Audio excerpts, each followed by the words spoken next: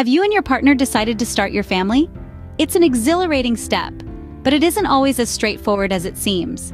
You see, conceiving a child can sometimes require a bit more than just deciding it's the right time. Perhaps you've been trying for a while with no success. The American Association of Reproductive Medicine suggests that if you've been trying for a year or more if you're younger, or for three months if you're over 35, it could be time to seek some professional guidance. But don't worry, we have some tips that can help increase your chances of conceiving. Firstly, understanding your body's fertility cycle is crucial. It's like a dance where timing is everything. Your eggs and your partner's sperm have a limited lifespan, so aligning their rendezvous is key. How do you do this? Look out for signs of fertile cervical fluid. It's your body's way of telling you, hey, it's a good time. Charting your basal body temperature is another helpful tool. It's like mapping your body's rhythm. These charts can also be a valuable aid if you need professional guidance. Understanding your body better can significantly increase your chances of conceiving. Secondly, maintaining a healthy weight is more important than you might think. You don't need to have the perfect figure, but being too light or too heavy can disrupt fertility.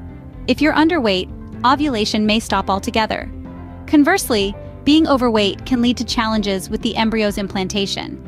And it's not just about the women. Men's weight plays a role too. Men who are either underweight or overweight tend to have lower sperm counts compared to those within a healthy weight range. Achieving a healthy weight can make a big difference in your journey to parenthood. Lastly, managing stress levels is a critical part of the conception process. Stress can have a profound impact on fertility. It can suppress ovulation, alter the length of the menstrual cycle, and even affect sperm production. Studies suggest that stress can lead to malformed sperm or low sperm count, and cortisol, the hormone released during stress, can disrupt the balance of other crucial hormones in the body. The journey to parenthood can be stressful, but remember, a calm mind and body are conducive to conception. Incorporating these tips into your daily life can greatly enhance your chances of conceiving.